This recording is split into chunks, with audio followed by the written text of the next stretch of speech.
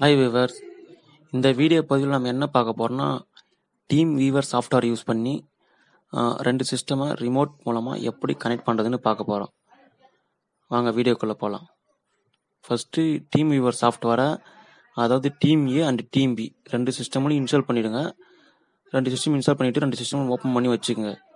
இப்போ நம்ம team B system தான் அக்சஸ் பண்ண போகிறோம் டீம் ஏவிலேருந்து அப்போ என்ன பண்ணால் டீம் பியோட யுவர் ஐடி அண்டு பாஸ்வேர்டு அது ரெண்டுத்தையும் நீங்கள் டீம் ஏவில் ஓப்பன் பண்ணியிருக்க சிஸ்டமில் என்ட்ரு பண்ணுங்கள் அந்த யுவர் ஐடியும் பாஸ்வேர்டு ரெண்டுத்தையும் நீங்கள் ஃபஸ்ட்டு யுவர் ஐடி கொடுத்து என்ட்ரு பண்ணுங்கள் ஜஸ்ட் அதுக்கடுத்து பாஸ்வேர்டு கேட்கும் அதை கொடுத்து லாக்ஆன் கொடுத்தீங்கன்னா டீம் பியோட சிஸ்டம் வந்து டீம் ஏவில் உங்களுக்கு வியூ ஆகும்.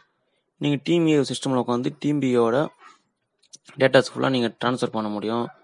வியூ பண்ண முடியும். எல்லாத்தையும் நீங்கள் இது டீம் ஏவிலேருந்தே நீங்கள் ஃபுல்லாக அக்சஸ் பண்ணி பார்க்கலாம் நீங்கள் வந்து.